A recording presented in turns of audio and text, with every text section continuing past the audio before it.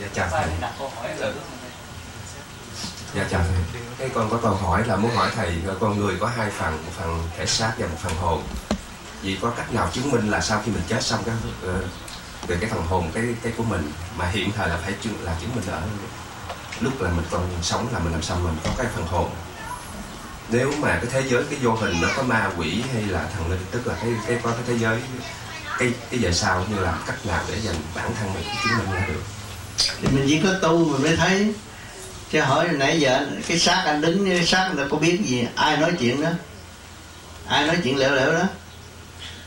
Không có hồn, đâu có nói chuyện. Không có sự sáng suốt, không có nói chuyện. Sự sáng suốt, cái xác này đâu có sáng suốt. Cái hồn là cái thức của mình nó khó đó. Hồn đang nói chuyện này. Cứ nói chuyện nhiều đi. Rồi về nó nhẹ đi.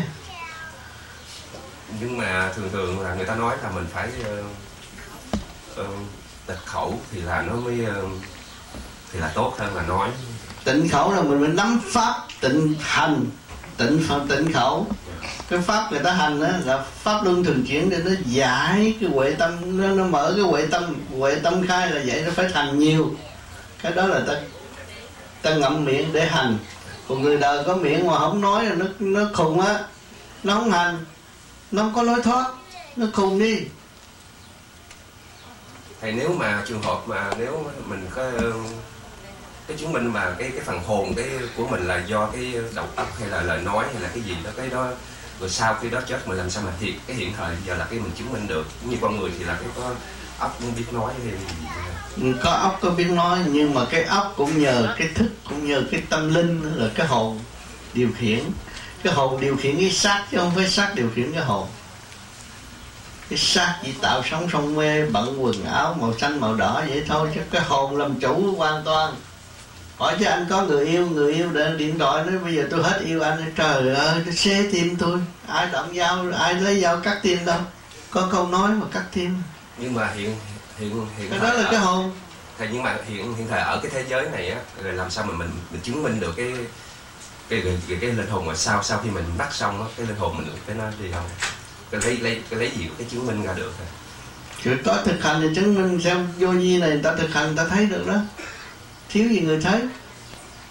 Như anh hồi nãy là anh thấy anh đứng ra anh thấy vợ con anh thấy đồng hồ rồi cái đó là ta chứng minh rồi đó. Phải có hành. Không hành làm sao thấy? Dạ cảm ơn. Ừ. muốn làm nghề bác sĩ phải đi học bác sĩ. Không học mà muốn làm bác sĩ đâu được Dạ thưa thầy hôm nãy anh đó, anh có lên anh hỏi đó là nếu mà như là lúc mình sống á, thì mình có phần xác với lại phần hồn. Lúc mà mình chết đi à, lúc mình chết coi như là cái phần xác nó bị hủy diệt còn lại cái phần hồn. Thì con muốn hỏi thầy đó cái phần hồn đó thì ta nói lúc mình sống mình tu tâm tính đức thì cái phần hồn nó sẽ được lên cảnh cao lên cõi niết bàn. Còn lúc mà mình sống mà làm nhiều điều sai á thì sẽ bị đi xuống địa ngục. Thì con muốn hỏi thầy là nếu mà bây giờ đi xuống địa à, xuống địa ngục á thì ở dưới địa ngục á à, ý con muốn nói là cái hồn của mình á nó là một cái một cái bóng hay là nó có một cái tại vì nếu mà cái xác của mình thì mình nhìn thấy được nó có cái hình thể có người này mặt tròn người kia mặt vuông. Thì nếu mà là cái hồn á thì là nó vẫn giữ cái hình ảnh của cái mình lúc sống. Hay là nó là cái bóng thì bóng nào cũng giống bóng nào. Nếu ý con muốn hỏi là như vẫn như vậy nó cũng có mặt mày tay chân vậy mà nó giữ cũng cái than khóc vậy. Nó giữ cái hình thể nhưng mà nó nhẹ hơn cái hình thể mình nặng nề cái phần đó nó nhẹ hơn cái hồn nó nhẹ hơn. Rồi người ta nói rằng là nếu mà xuống địa ngục á, thì con chỉ nghe coi trong sách thôi Ừ. là sẽ bị những cảnh quỷ sứ bị hành hạ bị này bị nọ bị kia. Phải không ạ Và tâm làm thân chịu nếu con còn sống còn ở ác thì con phải xuống cái giới ác.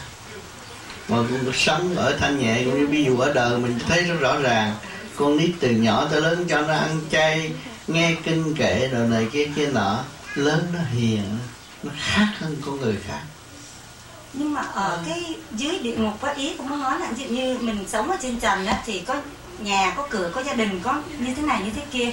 Còn nếu mà mình xuống dưới địa ngục á thì mình có có chỗ mình ở không? Có nhà có cửa có chứ như là những cái linh hồn cứ đi bất vượng bất vượng như vậy. Có hay chứ. là những cái bóng sắc đi bất vượng. Ta có tổ chức chứ cũng như thế gian nhưng mà đi tập chúng nắm đầu chứ nói chuyện nó cũng thiếu gì cảnh sát không giỡn. Cái đó là dưới địa ngục còn nếu mà nếu mà như ở trên cảnh cao. Ở trên cánh cao cũng có trật tự chứ không có trật tự. Khi mà người tu thanh nhẹ rồi nói một lời là một lời trật tự luôn luôn. Nó mới đi lên cao được ở trên đó cũng có đời sống trật tự giống như có cũng mình. có cũng có nhà cửa cũng có hội họp cũng có chùa. Cũng có nơi cho người ta học nhiều tùy theo cái giới. Người ta kinh kệ cũng có kinh kệ mà người ta tu thiền cũng có tu thiền. Người ta chuyển dưỡng hào quang có chuyển dưỡng hào quang có nơi cho người ta làm việc hết. Nhưng mà ở cái cảnh đó chỉ là những cái bóng thôi phải không ạ? Không nói về điển không phải nói cái bóng. Dạ. về điển hình là chánh bây giờ con đứng đó là cái điển hình của con chánh như cái xác không phải chánh. Là cái hồn bây giờ nói con hiểu liền nghe nói con thích liền cái đó chánh. Cái xác không phải chánh. Xác không phải chánh. Ừm, hôm nãy có chị thì chị hỏi rằng là à, lúc mà nói là ghi tên mà trong cái sổ gì đó đại khái. Phong thần. Dạ phong thần đó thì con nghe người ta nói là có những người đó là giống như là ông trời ông đã đặt để cái à, cái mệnh của mình á tới ngày đó tháng đó bao nhiêu tuổi mình phải chết. Đã, đã đặt sẵn như vậy rồi. Thì bây giờ nếu mà giờ lúc mà con sanh ra đó khi mà lúc con sanh ra thì ví dụ như con sanh năm 60 đi. Thì ông trời ông đã đặt cái mệnh cho con tới năm 80 con phải chết. Nhưng mà nếu bây giờ con trong cái khoảng nếu nó không tu nếu không nó tu nó phải ở trong cái khuôn khổ đó mà nó học nhịn nhục để tiến hóa. Mà nếu nó tu rồi nó khỏi cái cuốn sổ đó không có không có sử dụng được. Thì là con có thể con sống lâu hơn nữa. Sống lơ hơn triển hạn nhiều hơn. Bởi vì con tu đâu có làm bậy nữa. Còn người không tu nó theo số mệnh thằng đó ác rồi nó cứ giết heo hoài. Thì nó chết nó phải xuống cái tần số đó thôi giờ con hỏi một câu. À, Nhưng mà giờ những đứa bé đó hồi lúc mà nó còn nhỏ quá nó đâu có làm gì sai. À, à. Phải không ạ? con nói nó không làm gì sai tiền kiếp nó sai tới bây giờ chứ không gì sai. Cho nên con là mắc phàm không thấy chứ. Người ta nếu mà như sự như thầy nói á, thì là những cái những cái cho nên ta ba tuổi ta định vận mạng cho tới già là vậy. Ý con muốn nói rằng là có những cái đứa bé mà nó chừng mười mười mấy tuổi nó đã chết đó là bởi vì từ những cái nghiệp của những cái kiếp trước nó đưa qua tới bây giờ thành ra nó phải chịu cái sự cái đời sống của nó ngắn trong cái kiếp này như vậy phải không ạ? bởi vì nó có nhiều đứa nó thần đồng nó phải tiến hóa.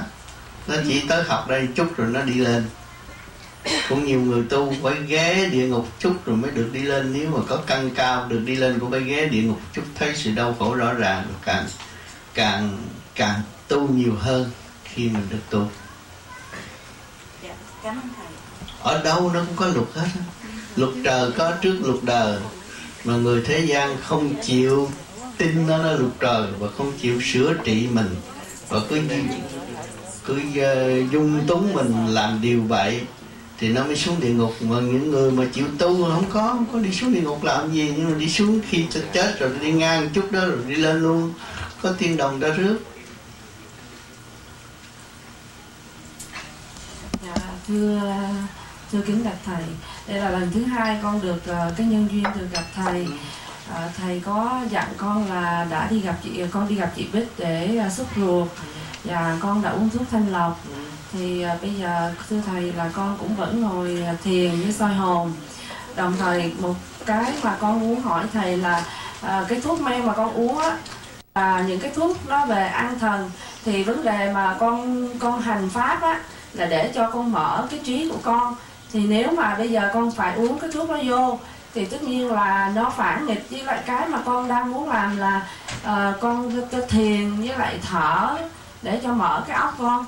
Mà thường thường con nghe người ta nói á là uống thuốc ờ, về tâm thần an thần gì đó nó sẽ làm cho cái trí óc mình nó ngu đi hay là mờ đi.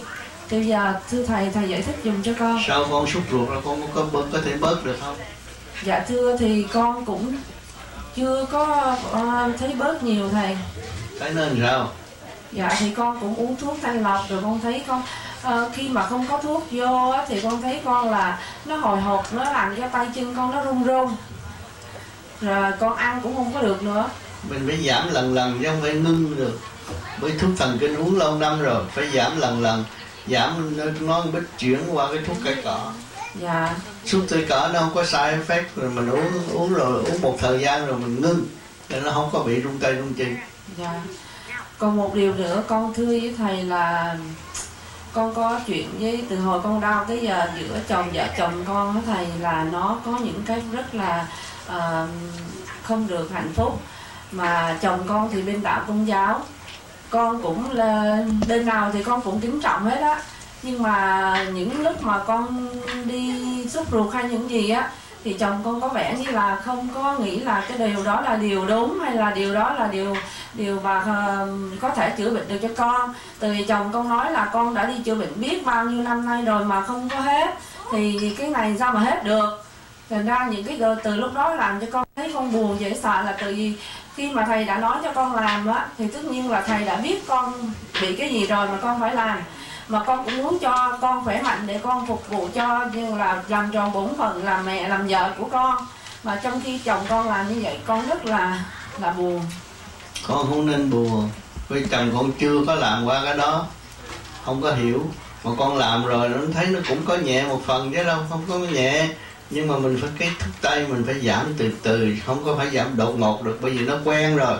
Có nhiều loại thức tê uống mà giảm liền, nó chết liền à không có bao giảm ngang được lấy cái kia thay thế lần lần lần nó mới được. Dạ. Còn một điều nữa là con thưa thầy là con cũng có một người bạn. Người này á, là có một người em chồng. Chị này chị cũng rất là có cái tâm. Thấy người này bị nhốt ở nhà thương điên. Thì chị thấy tội nghiệp quá chị mang đi ra. Mang đi mang cái người này đi ra đó. Thì bây giờ cái người này cứ nói là có ai đứng sau lưng tôi thôi đi đi đừng có phá tôi nữa. Rồi uh, thấy uh, lấy lửa đốt nhà. Rồi nói là người ta biểu tôi đốt nhà. Rồi uh, khi mà mà mà ngủ quá thì nói thôi đi đừng có phá tôi nữa. Thì chị đó muốn hỏi con là cái anh đó bị như thế nào? Chị đó chỉ có cái tâm là muốn giúp cho anh đó là thấy anh đó trong nhà thiếu niên rất là khổ thì con có ý muốn nói là chị đó có thể dẫn anh đó lên hay được đây hay không? Nhưng mà con sợ là không biết là ảnh cái tình trạng ảnh điên vậy có để làm cho cái sự thanh tịnh ở đây hay không? Thành ra con muốn hỏi ý của thầy trước. Không được anh phải anh phải ở nhà thương theo ờ, bác, hồ sơ của bác sĩ, người ta đừng theo dõi anh á. Đừng trị ảnh, phải uống cái thuốc đó. Muốn lên bên kia thì chỉ phụ thanh lập dùng cho ảnh thôi. Anh uống thuốc còn có hiệu lực hơn hồi xưa dạ, có hiệu lực hơn hồi xưa anh bớt nghĩ bậy bớt thấy bậy. Xin lỗi bạn đạo nào có cái xe ven màu xanh đậu ngang hông ờ, chỗ cái, cái thiền đường này xin dời ngay vì nhà bên cạnh không có lối ra. Xin bạn đạo có xe ven màu xanh ngang hông dời ra vì bạn nhà bên cạnh không có lối ra. Dạ thưa thầy chị đó có hỏi con là anh đó có bị ai theo không thầy? Hay là anh có làm gì không mà bị như vậy? Không phải cái đó là anh cũng bị trượt và cái thần kinh của anh anh uống nuốt thuốc thần cho nên nó, nó hãm cái thần kinh nó không có không có cho cái thần kinh mình được phóng túng như xưa. Mà bây giờ đi ra ngoài không được phải ở trong đó theo cái, cái, cái theo bác sĩ người ta. Tăng hay giảm thuốc cho anh không nên cho anh về nhà. Về nhà anh sẽ thấy tầm bậy tầm bạ tự nhiên nó hiện thấy tầm bậy tầm bạ. Vậy là như vậy là cái nghiệp... chấn động của khối óc. Yeah.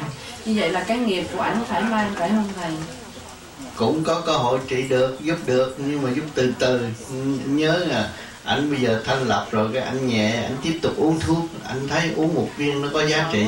Uống ra uống viên thuốc rồi thấy khỏe quá. Sau khi thanh lập tay uống viên thuốc khỏe quá thì anh tiếp tục được vẫn uống cho bác sĩ trị bởi vì cái ruột anh nó không có hút cái thuốc được nhanh như hồi xưa. Là nó trị không có hiệu lực. Dạ, nhưng sau khi con thanh lập rồi con về con uống thuốc thế nào? Dạ thưa thầy con uống thuốc thì con là tốt. Tốt á bởi vì cái ruột nó, nó hấp thụ nhanh lắm.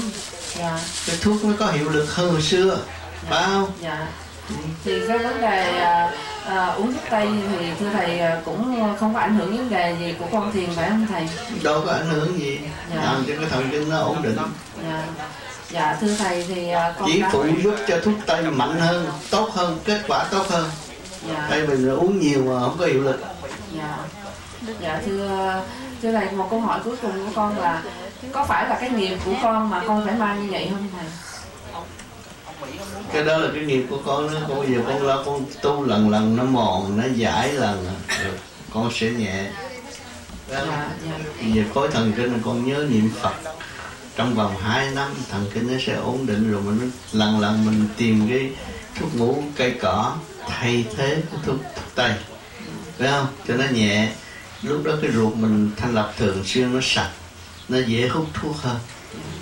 Còn một cái nữa là thưa thầy con hỏi thầy là à, con hay khi con thấy người nào mà còn nghèo khổ hay là bất cứ những người ta gặp khó khăn gì là con cũng đều uh, mang cái tâm của con ra con giúp hết á. Mà con rất là uh, sau khi giúp xong những người đó rồi á thì người ta làm cho con rất là bị những cái là rất là đau trong cái tâm con là người ta làm những cái mà mà mà con không thể tưởng tượng người ta sẽ làm được như vậy đó. Và thành ra uh, con rất là buồn. Và những cái những cái đó là con cứ cứ, cứ bắt con phải khóc hoài con không biết làm sao nữa. Không buồn giúp người bị người chửi là đúng luật không có sai. À, giúp người thì mình mới đã phát triển tâm từ bi. Bị người ta chửi mình còn giận là mất tâm từ bi. Hiểu chưa? Dạ. Cứ giúp đi không sao đó của của thiên trả địa của ông trời cho mình. Thế thiên hành đạo giúp người là người thế thiên hành đạo. Tâm từ bi con sẽ phát triển. Ờ, khi mà giúp người bị người chửi là đúng luật. Mình phát triển tâm từ bi nhiều hơn. Và chửi nhiều chừng nào mình thương hơn nhiều chừng đấy. Tôi đã giúp người mà tôi lại ghét người người ta chửi sao? Tôi quý người ta chứ. Dạ. Tự nhiên tâm từ bi tôi nó phát triển. Cái tâm từ bi con phát triển đúng lúc rồi á. Cái tiền mà con đưa ra con xài con giúp cho người ta nó hồi sinh trở lại. Không có mất xu nào hết đừng có sợ. Có ông trời chứ không phải không có ông trời Dạ thì thưa từ khi con biết cái pháp này thầy con rất là uh, kiên nhẫn. Con nghĩ là ai thôi giờ ai làm gì mình làm mình cứ nhịn nhục uh, nhịn được chừng nào tốt đó. Nhưng mà có nhiều khi con thấy là con không có chấp ai hết nhưng mà con chính ngay con thấy chồng con á thì con nhịn chồng con hoài thì con thấy nhịn nhịn nhịn nhịn hoài ảnh thì ảnh cứ tưởng tượng như là con nhịn vậy là con bị làm sao? Cái cái cái cái ờ, làm cho cái tự ái của con nó nó nó bị mất đi á thầy. Cái ai cũng có cái tự ái của mình hết đó con nhịn hoài nhịn hoài rồi rốt cuộc ảnh ờ, cứ cứ la la con hoài rồi con không biết làm sao nữa thầy. Không sao. Con nhịn nhục rồi con nói tôi tôi học tôi học người, học học cái ngu của ông Phật chứ tôi không học cái khô của người đời. Con nhịn nhục nhiều chừng nào thì tâm từ bi con càng phát triển. Họ càng chửi con con càng thương yêu họ, cái tâm từ bi con mới thật sự có vị trí phát triển rõ ràng cho nên cái đó lợi lộc cho chính con đâu có hại. Dạ. Dạ thưa cảm ơn. Đừng có nuôi dưỡng cái tự ái. Tự ái là vách tường. Ô nhục nó chặn mức tiến của tâm linh. Không có tốt. Người nào còn tự ái tu vô duyên có được đâu. Dạ. Dạ thưa con xin cảm ơn thầy. Đi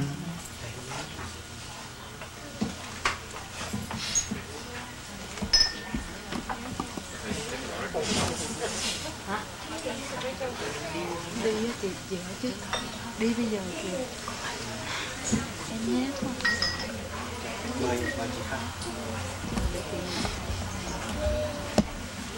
Thưa thầy con có cái thắc mắc từ lâu nay hôm nay con có dịp thì lên để giờ thầy giải đáp cho con. Thì mẹ con mất ờ, lâu nay cũng được khoảng 8 9 năm rồi thưa thầy. Ừ, nhưng mà con không biết như thầy nói á, khi mất á, cái linh hồn mình á, sẽ thuộc về cái cảnh giới khác và cứ ở đó và sống với cái trật tự với lại những cái ổn định ở cái thế giới khác. Như vậy ừ, đến khi nào thì biết là mẹ con mới được siêu thoát hoặc là đi đầu thai lên một kiếp khác. Cho nên vô vi có một cơ hội cho mọi người tu, giải nghiệp tâm thì mình thiền ờ, trong giấc ngủ mình thấy bố mẹ rõ ràng.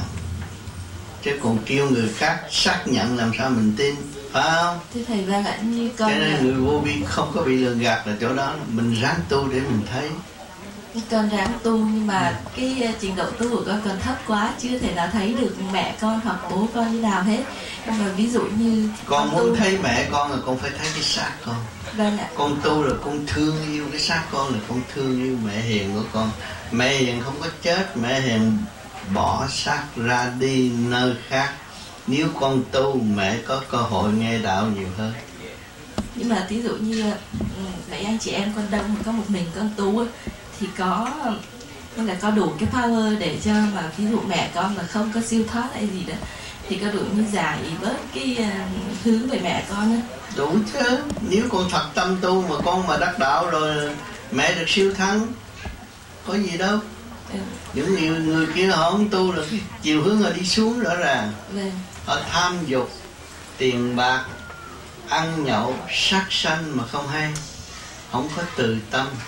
Nhưng mà các anh chị con ví dụ như cứ thương nhớ mẹ hoài ví dụ ăn món ngon hoặc là đi chợ thấy trái cây ngon cứ mua về cúng mẹ như vậy cứ cầu cứ réo mẹ con hoài chẳng hạn như vậy thì mẹ con như cái cảnh giới khác ấy, có được yên tĩnh không hay là cứ nghe cái đó con là nó có gọi tâm. réo có tâm có tâm thì cũng được. Có tâm trời cũng giúp cho người nào có tâm hiếu cũng trời cũng thương hết, trời Phật thương hết.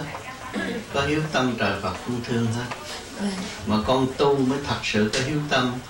Con cái xác con con biết thương là con thương mẹ. Mẹ tạo ra cái xác con, mẹ muốn con bình an.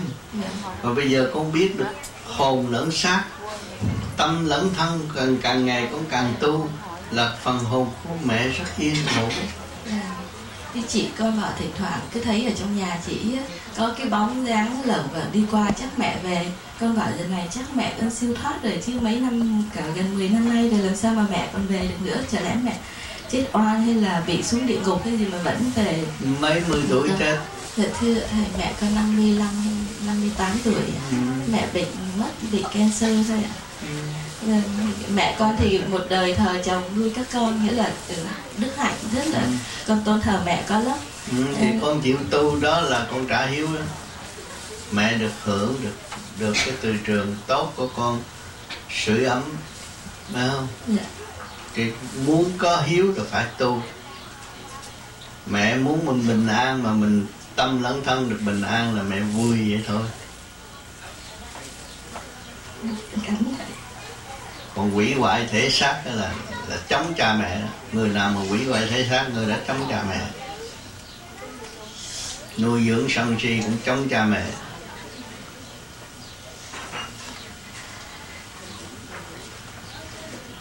À, con hỏi thầy là à, con muốn biết là từ à, cách đây 7 năm đó con có về Việt Nam thăm gia đình một lần thì khi mà thấy à, ở bên Việt Nam mẹ và hai con với anh em thì nghèo khổ quá đi. Thì bắt đầu từ trở lại ở Mỹ thì con mới à, quyết định là phải đi ra để làm để mà kiếm tiền gửi về nuôi gia đình đó. Thì từ cái chỗ đó à, con con đi ra làm ăn thì cứ thất bại hoài. Thì khi thất bại á, thì về nhà lại nhận được cái giấy à, ly dị á. Con không biết cái đó là cái truyền kiếp của con hay là cái gì ở nhà khi không thì nhận khi không thì nhận lấy giấy ly dị là không tại ông không cho con à, ra làm ăn mà con nói là phải có lý khổ. do. Con làm ăn làm ăn cái gì? Dạ làm con- ăn đứng đắn. Dạ làm ăn của chồng con vợ phải thương lượng với nhau. Có vợ có chồng. Nên bây giờ nghe gia đình em khổ. Bây giờ anh phải giúp vô. Anh em thương lượng với nhau đi làm việc để giúp gia đình. Dạ con có À. con có trình bày như vậy và con cũng đồng thời có nói là khi con đi ra làm ăn á, là con sẽ không lấy cái đồng tiền của chồng của con làm cực khổ mà đem ra làm ăn. Ừ. cái đồng tiền đó là của con để dành hồi nào tới bây giờ bây giờ con muốn làm ăn để gây có số tiền lời để giúp cho gia đình. Thì ông quyết định là à, con phải ở nhà lo cho con còn nếu đi ra làm ăn thì ông sẽ đi dạy con. Ừ. thì thương gia đình quá nên con chấp nhận cái sự mà à, chồng con quyết định á rồi, con phải thấy rõ chồng con thương con nhiều lắm Không muốn con vất vả. Mà không muốn con thiếu tình thương gần gũi của người mẹ hiền. Thì chồng chứng minh chồng con thương con nhiều lắm. Nhưng mà bây giờ con con làm ăn thất bại thì bây giờ con năn nỉ ổng là thôi giờ sống gì con đừng có ly dị đó. Nhưng Con thấy ông thất bại Thất bại có lý do. Thì tại vì mở nhà hàng rồi cái Đó Con mang nghiệp sát dạ. Con đi làm chuyện ác Chồng con đâu có chịu Phải không? Chồng con làm đúng á. Mà bây giờ ông nhất định ông ông ly dị thì thôi con cũng nghĩ là không biết cái đó là cái kiếp hay gì thì con cũng chấp nhận. Nhưng mà à, theo con muốn hỏi cho thầy chỉ cho con đó như bạn bè thì nói con phải nên mướn luật sư này kia để à, người ta bảo vệ cho con á. Mà trong lòng con thì con không muốn làm thì thầy nghĩ con làm gì là con ngu con muốn làm là con tu thôi. Con chỉ tu cắm đầu lo tu rồi cái gì cũng tốt hết á. Còn con ờ, đi làm luật sư là hai bên nó càng ngày càng sức mẻ thêm càng xa hơn nữa. Thì con có nói với ổng là thôi bây giờ nếu mà ổng không cho con một việc trở lợi đó thì à, con chấp nhận con ra đi. Ổng muốn cho con bao nhiêu thì cho không cho thì tùy ý ổng chứ con không có đòi hỏi và cũng không muốn luật sư gì hết. Bởi xứ này á, nó có thực tế bảo vệ quyền lợi của con người. Khi mà chồng bỏ vợ gia tài phải chia hai rồi nó phải có luật sư. Nhưng mà con là người tu, con không cần cái đó. Mình ráng tu nhiều hơn. Mình có cơ hội mình tu nhiều hơn, mà mình thương chồng nhiều hơn, rồi rốt cuộc chồng sẽ trở lộn lại, tốt đẹp, gia càng bởi vì nó đã có con rồi dạ, con không thể mất cha. Dạ con có sáu đứa con. Thì con không thể mất cha. Con mới nói với ổng thôi bây giờ à, con đang nghĩ hoài và con hai vợ chồng thì đã à, ly thân với nhau ba bốn năm rồi. Ở trong nhà thì hai người đi vô đụng mặt nhau vậy nhưng mà không ai nói tới ai hết. Ừ. thì con định hỏi thầy là chỉ với con con ừm, con làm như gì có đúng hay không hay là ngu vậy đó thầy là không đi mướn luật sư này kia đó. Cái đó là đặt, sự đặt lòng con con không muốn tại vì con nghĩ là cái đó sự quyết định của con. Dạ. Còn đối với người tu á mà nói chuyện là cái cơ hội đó là cơ hội của người tu mà Dạ. dốc lòng tu dạ. để nuôi dưỡng mấy đứa con thành tài. Cái đó là hạnh hy sinh con rất cao dạ. mới làm được. Dạ con cảm ơn thầy. Ừ, à, còn không mà con phải theo luật lệ của đời. Mô A Di Đà Phật. Con lên đây để để biết ơn thầy. Vì trong mấy tháng, con cũng hay bệnh. Mà đôi khi tim con nó nhói lên, thì con không tính trở đi nhà thương. Thì tự nhiên con niệm Phật, thì thấy tim con nó dịu xuống. Không biết thầy cứu con, mà cho anh cứu con. Con đến đây nhiều lần bệnh như vậy con niệm Phật thì thấy tự nhiên nó dịu xuống, hết. Con để lại thầy, để con đền ơn. Ba lại người tu phải thật tâm hướng về Phật, dứt khoát tình đời hướng về Phật mới là người tu. Nếu mà tâm còn nghĩ chuyện đời, ôm chuyện đời, nó phải nhói tim, không có nên ôm chuyện đời nữa, lớn tuổi rồi. Dứt khoát bây giờ mình may mắn ra đây, có cái xã hội tốt hơn bên nhà rồi mình lo tu. Tới đây mà không tu uổng quá. Không có ai đá động tới mình tại sao không tu? Tu thức giác rồi mới cứu gia đình được. Con hỏi xin hỏi thầy một điều. Còn Xuân đó nó ban đêm nó hay thức sáng đêm ban ngày nó ngủ thầy. Ai? Thằng Xuân thằng Út ở đây ừ. nó có đi thanh lọc không? Dạ có. Năm ngoái thì nó có đi nó phải cứ 6 tháng cho nó làm lần nhé. Dạ. Năm ngoái nó ngủ được mà. Từ đây con cũng cố gắng con tìm công phu ngày đêm ừ, nhưng mà nó bởi vì con nít nó hay ăn bậy á. Dạ. mình phải cho nó đúng mấy tháng cho nó thanh lọc lần chút xíu công chuyện có gì đâu mà nó khỏe. Dạ ừ. con cũng cố gắng thì ngày đêm thì ở trong nhà hỏi đến có cơ hội gặp được Ừ. Ừ. Con đến đây để lại lại tạo lại không có lo nhiều. Đứa nào nó có khối óc mình lo mình tu phát triển tâm từ bi mới độ nó tiến được. Làm người mẹ phải có cái hạnh tốt cái gương tốt lo thiền lo tu.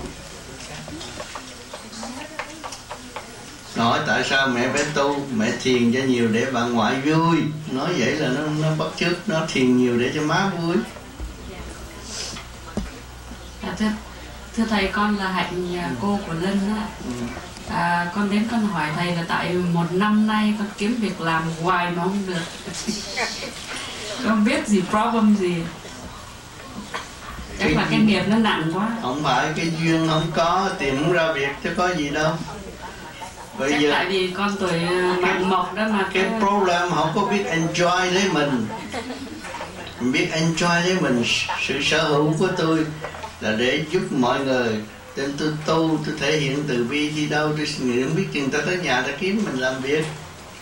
Còn nên mình tới người ta từ chối là tâm từ bi mình không có không phát triển không có hòa đồng với người ta người ta thấy mặt ta ghét.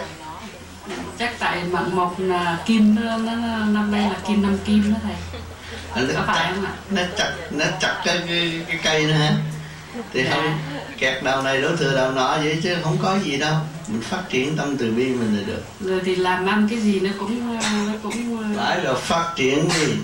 Phát triển thanh tịnh lo tu rồi đi kiếm việc làm rồi. Đấy, không sao. là tại vì cái kiếp trước con làm mà không có đổ thừa kiếp trước nữa. Bây giờ tôi chưa biết tôi là ai. Tôi lo tôi tu tôi biết tôi là ai thì họ sẽ dùng tôi. Hả? Dạ dạ thôi thôi cảm ơn thầy. Xin chào thầy. À, Con có câu hỏi để hỏi thầy? Tại vì nhà con có Có hai cái hai ý kiến mà con mua ở chợ á. Con đem về con để ngày sau một cái ngày trước một cái đó thầy. Nhưng mà ông chồng con cũng cứ la con đi ờ, lấy Bồ lấy đồ về để treo một trước một sau hoài á. Tại trong nhà bị xộn hoài lắm này cái con mới tức con lấy con đem đi bỏ thùng rác á. Thì có sao không thầy? Cũng không có sao. Giết chết người nó cũng là không không có sao. Đầy đọa thần thánh nó cũng là không có sao. Mà lúc nào sao chiếu thì nó mới thấy sao. Có gì đâu. Thì con trong nhà cho nên khi mình kính một Sao cái gì là mình phải rõ ràng. Kính trời rồi. Phật mình phải rõ ràng. Gia đình phải thông cảm không có thể làm ẩu và đi mạ nhục trời Phật không có phải chuyện giỡn. Khi mình mình đặt cái kiến vô vi là mình tưởng trời Phật không phải tưởng người phàm. Vì vậy nên bỏ vào mình thùng rác là mình mạ nhục trời Phật. Tâm mình cũng an năng chứ đừng có nói là trời Phật. Thì ông xã của ông la ông tức quá tại tôi cũng tin mua về để như là à, con tin đâu được con phải có cái tâm thành kính. Cái miếng kiến không đâu có giá trị nào. Có bạn đạo chứng cho con mới được chồng của con phải hòa thuận con mới đem được. Chứ con ờ, con rước người hiền tới nhà rồi kêu chồng con chửi rồi chồng con mang đọa chứ làm gì? Đây không có bảnh hơn người đời trời Phật đâu. Tại con thấy kiếm bán ở chợ mấy tiệm mua về thôi. Thấy rẻ quá mà. Cũng như Phật cái Phật xi măng rẻ quá mà. Muốn để chỗ nào là không được muốn dục chỗ nào là không xong đây con hỏi thầy à con có hai cái lá bùa xin ở ờ, cậu ba nhỏ tại con bệnh á con xin về giờ con để nhà hoài á. Nhưng mà sao thấy trong nhà con bị lộn xộn hoài á? Giờ con muốn đem trả hai lá bùa đó rồi sao thầy chỉ giùm con? Vậy đi kiếm cậu ba nhỏ trả chứ gì nữa? Cậu ba nhỏ ở đâu? Cũng ở gần đây mà con không biết ừ. chờ không biết đường ông xã ông chở con đi. À, mình xin bùa để làm gì? Tại vì con xin bùa con ờ, bệnh đó thầy. Nhức đầu hoài á. Ừ. nhức vào đầu rồi ta trị chứ có gì đâu đi xin bùa. Con ờ, xin bùa cũng như rước cảnh sát vô nhà mà không nuôi con có hôm nay con nuôi con con có ngày nó bắt con á. Cái bùa là giữ nhà đó gì cũng như cảnh sát giữ nhà mà bắt bắt cảnh sát giữ nhà mà không cho người ta ăn cơm có ngày nó trở súng nó bắn nè. Vậy là con phải đem đi trả cho cậu ba hả thầy? Chứ sao? Bởi vì con không hiểu rành tôi không hiểu rõ cái bùa này là ông gì tới giờ mấy giờ ông ăn cơm mấy giờ ông tắm tôi không biết. Rồi tôi vô lễ có ngày ông bắn tôi á. Rồi tôi xin tôi trả tôi không biết được cái luật lệ cái đó bùa này là sao. Phải biết khi mình lãnh lá bùa mình phải biết cái luật lệ rành mạch mình phụng sự rành mạch phụng sự bề trên đâu phải giỡn. Nhiều người thỉnh bùa về nhà làm cả nhà xáo trộn rồi điên luôn hết rồi. Lại con sao bị nhức đầu hoài á thầy con có đi thanh lọc cho nó nhức đầu không? Dạ con chưa đi. Đi lên Dạ. chim bích nó kiểm soát con tại sao nhức đầu. Cho uống hết chứ có gì cái đó dễ lắm. Ở đây có pháp hồn con có làm không dạ có. Mà mỗi lần làm bị nhức hai cái vai quá thầy phải để như vậy. tay lên á là bị nhức hai cái phải như vậy. Lần lần nó quen. Quen nó thông nó có nhức đầu. Mà con thanh lọc cho độc tố trong máu nó ra không có nhức đầu. Nó không có nó nó nó, nó không có tấn công thần kinh không có nhức đầu. Anh Minh định con có, cũng có chỉ tới nhà chỉ con á. Mình có chỉ con đi lên thanh lọc á con chưa có đi ừ, thanh lọc nó khỏe liền nhiều người chưa thanh lọc nói ô cha hư ruột này kia kia nọ thanh lọc rồi ờ, khỏe khuyến khích người khác đi. Vâng, cảm ơn thầy. Mặt mày hồng hào tươi trẻ có gì đâu. Tôi là kiểu mẫu đi trước để cho mọi người bắt chước đi sau nhưng mà không chịu đi thì đáng chịu. Kính thưa thầy khám à, đây là lần đầu tiên trong đời con được gặp thầy. Yeah. và con đến đây để con cảm ơn thầy là ba năm trước đây con có gặp một hoàn cảnh khó khăn Ừ. mà anh con đã đi theo thầy để tu thiền Ừ. chính, chính nhờ cái sự hướng dẫn của anh con đã học được ở thầy Ừ. cho con biết trong cái cuộc đời này như thế nào và tất cả mọi việc đều là tạm bợ Yeah. do đó là con đã trải qua được cái sự khó khăn trong lúc Ừ. đó và bây giờ con có một vài câu hỏi con xin thầy dạy cho Yeah. là à, anh con tu với thầy. Và nãy giờ con ngồi nghe thì con có nghe thầy khuyên ăn chay ngồi thiền. Và con thấy rằng anh con vẫn còn có ăn những cái động vật nhỏ như tôm cá.